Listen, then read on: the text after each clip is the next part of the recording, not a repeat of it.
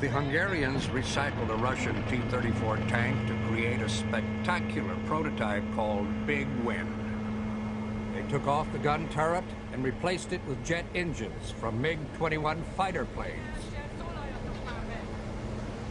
Water is injected into the jet stream. Then they just open the throttles and blow the fire out.